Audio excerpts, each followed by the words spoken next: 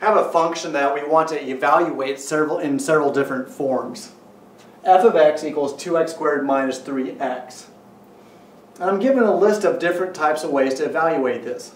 f of 3, f of x plus f of 3, 3 f of x, f of negative x, negative f of x, f of 3x, f of x plus 3, and f of x plus h minus f of x all over h, assuming h does not equal 0.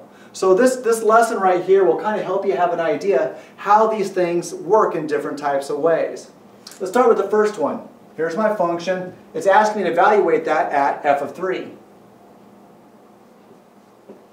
So everywhere I see an x, I insert a 3.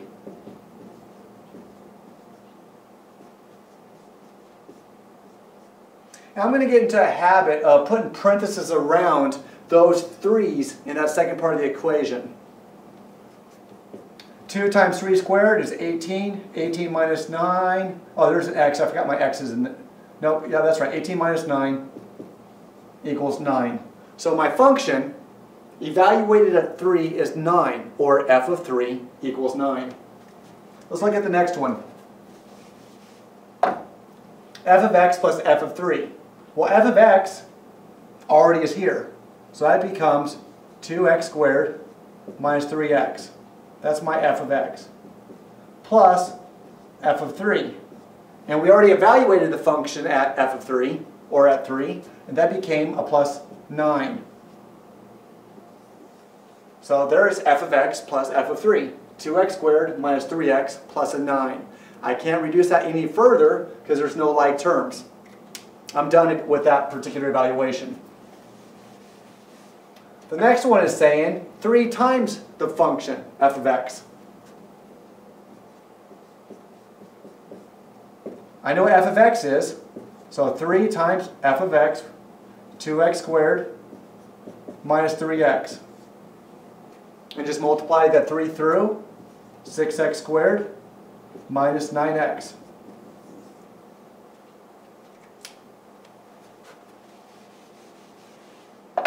F of negative x. Let's insert a negative x everywhere I see an x. 2, negative x. Notice I'm putting parentheses around it. And specifically because this term is being squared. So I have to make sure the entire negative x is being squared, not just the x. 2 times negative x squared, negative x squared is x squared plus the 3x.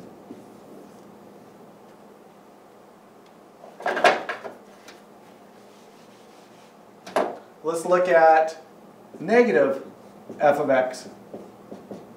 I'll leave the negative sign outside, and it's the entire function's being negatived, so I'm going to make sure I incorporate parentheses around, or brackets, around the entire function. And then distribute that through, so it's negative 2x squared plus a 3x.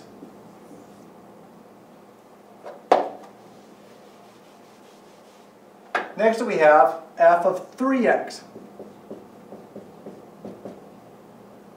2. This is my x value, in this case 3x squared minus 3 times 3x.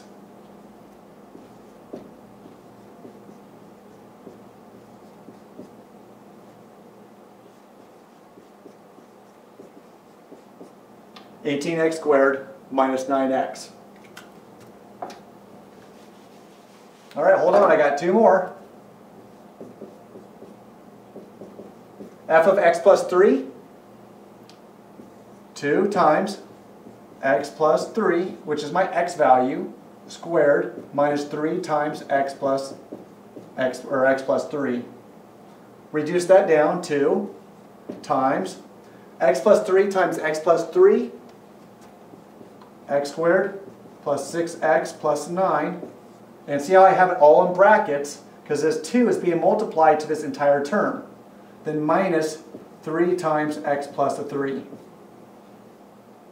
2x squared plus 12x plus 18 minus 3x minus a 9. Combine some like terms.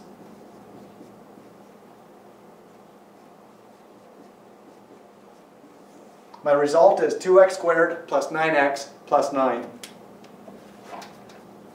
Now the last one. The last one does look a little scary, but if I understand that all I'm doing is inserting what it's telling me to into the function, it's manageable. So f of x plus h minus f of x all over h. And they're assuming again that h is not equal to 0, because if it were, this rational expression would crash and blow up. So f of x plus h, here's my function. I insert x of x plus h each where each x is at. 2 x plus h squared minus 3 times x plus h minus the entire function f of x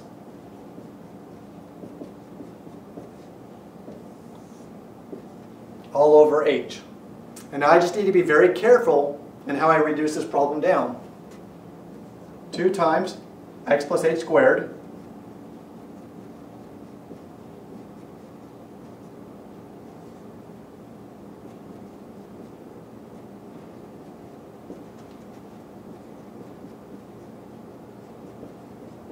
There's lots of places in this problem where I could have not distributed this negative through very, very good. Here and also here. Now I'm going to distribute that too.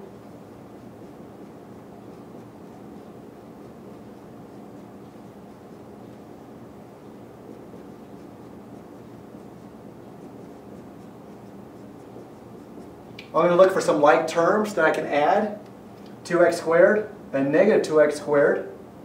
They zero each other out. Negative 3x and that 3x zero each other out. Oh yeah, remember this is all over h. And what's left is a 4xh plus a 2h squared minus a 3h all over h.